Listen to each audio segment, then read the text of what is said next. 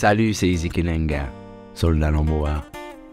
Je suis très heureux de pouvoir enfin te présenter la suite de mon carnet de voyage, les chapitres 3 et 4. Ce carnet, c'est un témoignage de mon aventure sur ce que j'aime appeler le chemin de mon cœur. J'ai fait ce voyage, mais aussi comment ce voyage m'a façonné. J'ai envie de partager avec toi les voies que j'ai empruntées pour pouvoir me délester des bagages inutiles, pour pouvoir voyager léger sur le chemin de mon cœur, toujours dans l'embois.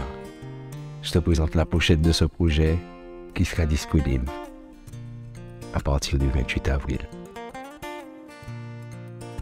J'ai hâte de te retrouver sur la route pour écrire de nouvelles pages. Prends soin de toi d'ici là. L'amour pour toujours.